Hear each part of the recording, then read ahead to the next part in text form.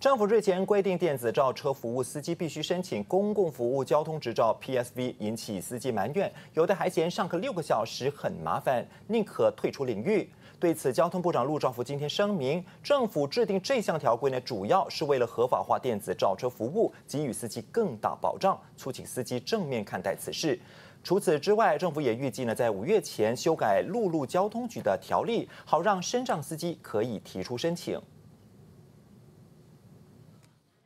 政府去年开始规定，电子召车服务司机必须在今年七月之前申请公共服务交通执照，引起司机怨声四起，从业人数也因此下滑百分之三十。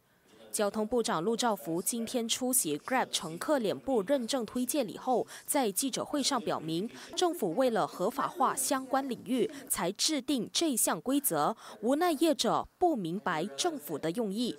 Look at the long-term benefits. The whole industry is being legalized and regulated so that you have a more secure environment to operate in. So I hope that drivers can look at from that perspective. We do not want this whole uh, uh, uh, industry to be continuously in a dispute. Don't look at just six hours, very troublesome, get a license, very troublesome. Once you do that just for once, we are not asking you to do it every year, just for once.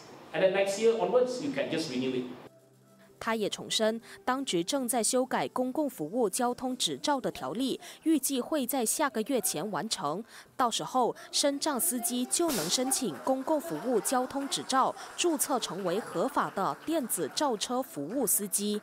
由于政府无意延后七月十二号落实的这一项新政策，陆兆福促请所有司机尽快申请，否则到时候无法上路。